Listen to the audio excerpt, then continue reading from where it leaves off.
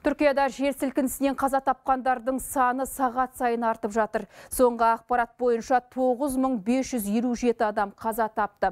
Тағы 40 мыңға жуығы жарақат алған. Табиғат апатының зардаптарын жоюға түрік және шетелдік 16 мыңнан астам құтқарушы жұмылдырылды. Жағдай әсіресе Мараш, Хатай және Адиаман қалаларында күрделі. Бұдан бөлек елде зілзаладан зардап шеккендер көршілес провинциядағы қауіпсіз мекендерге эвакуацияланды. Соның ішінде 50 мың кісі Анталияда қысқы маусымға жабылған қонақ үйлерге орналастырылмақ. Айта кетсек, ел президенті Реджеп Тайып Ердоған апат болған 10 провинцияда үш айға төтенше жағдай жариялады.